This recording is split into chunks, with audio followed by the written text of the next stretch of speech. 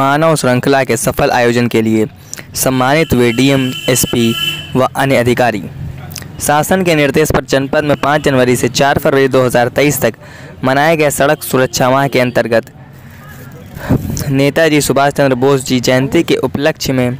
23 जनवरी 2023 को मानव श्रृंखला के दौरान जनपद की कुल जनसंख्या के सापेक्ष मानव श्रृंखला में प्रतिभाग करने वाले प्रतिभागियों की संख्या के प्रतिशत के आधार पर प्रदेश में तीसरा स्थान प्राप्त करने पर विश्वेश्वरैया प्रेक्षागृह, लोक निर्माण विभाग परिसर, लखनऊ में आयोजित सम्मान समारोह में प्रदेश के माननीय मंत्री, लोक निर्माण विभाग जितेंद्र प्रसाद व परिवहन राज्य मंत्री स्वतंत्र प्रभार जी,